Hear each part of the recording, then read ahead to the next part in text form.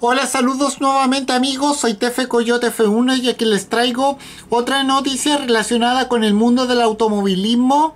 Y esta tiene que ver precisamente con las 6 horas de Fuji. Y bueno, las 6 horas de Fuji cambian de fecha para acomodarse al programa del el bicampeón Fernando Alonso porque el WEC ha confirmado el adelanto de la cita de Japón para que el piloto bicampeón asturiano Fórmula 1 Fernando Alonso pueda luchar por el título con el equipo Toyota. Y bueno, según como dice aquí, el campeonato de la super temporada 2018-19 del Mundial de Resistencia, bueno, ha tenido un cambio significativo. Eh, porque la celebración de las 6 horas de Fuji se han adelantado una semana y se disputarán el día 14 de octubre, lo que deja eh, vía libre a Fernando Alonso para participar la prueba y disputar la campaña completa a la mano del equipo Toyota.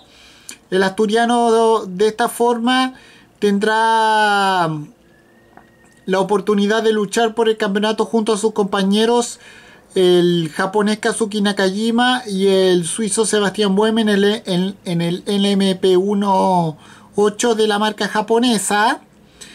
Y, este cambio de fecha llega después de la petición de Toyota, quienes son los propietarios del circuito de Fuji.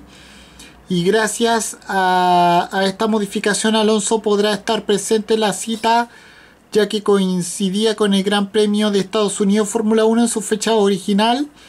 Y su labor en McLaren tiene prioridad sobre el Mundial de Resistencia. La presión de Toyota al contar con una figura tan mediática como la de el bicampeón Fernando Alonso eh, ha, convencido a los organizadores del Mundial de Resistencia para ceder esta, ante esta petición. Y bueno, ahora con esto me despido. Nos vemos. Adiós. Que me fuera. Chao.